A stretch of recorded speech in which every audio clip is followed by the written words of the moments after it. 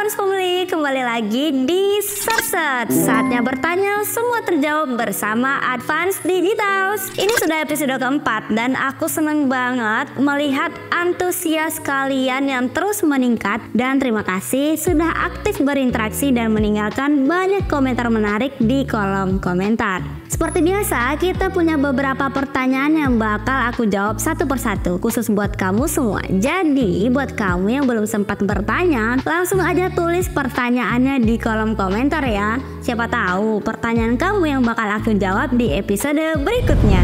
Pertanyaan pertama datang dari Mas Choi. Harganya berapa kak untuk mic 403? Ini pertanyaan berasal dari konten yang ini nih. Buat kamu yang belum nonton, langsung cek di channel kita ya. Oke, aku akan jawab untuk mic tipe ini harganya cuma 500 ribuan aja. Kamu bisa cek di marketplace sekarang juga. Ada banyak voucher dan diskon menarik dari kita. Tips belanja hemat, kamu bisa pantengin live kita setiap hari Senin sampai Sabtu dan jangan sampai ketinggalan ya.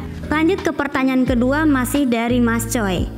Kak tanya dong receiver mic 206 dijual terpisah nggak ya? Saya punya tapi receivernya rusak tapi mic-nya masih bagus. Oke untuk mic portable seperti mic tipe 206 ini dalam paket pembeliannya sudah dilengkapi dengan receiver. Nah jika receivernya mengalami kendala seperti yang dialami subscriber kita ini, kalian klaim garansi ya. Jika ingin ajukan pengembalian jangan lupa untuk membuat video unboxing ketika barang sudah diterima. Jika sudah diterima dan sudah digunakan kemudian ada kendala pada produk kalian, bisa klaim garansi ke service center terdekat.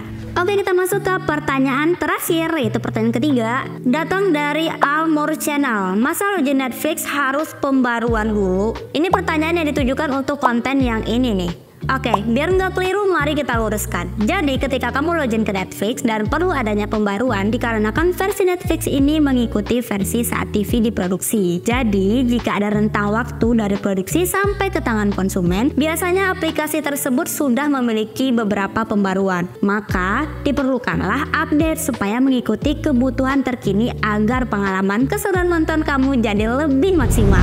Oke, itu tadi beberapa pertanyaan dari subscriber Advance Digital yang sudah aku jawab di episode kali ini. Terima kasih buat kalian semuanya sudah berinteraksi dan mendukung channel Advance Digital. Jangan lupa untuk terus komen, like, dan subscribe kalau belum. Dan kalau ada yang belum terjawab, tulis aja di bawah. Siapa tahu bakal kita bahas di episode berikutnya. Sampai ketemu lagi di saat-saat episode selanjutnya bersama Advance Digital. Selalu have fun. Bye-bye.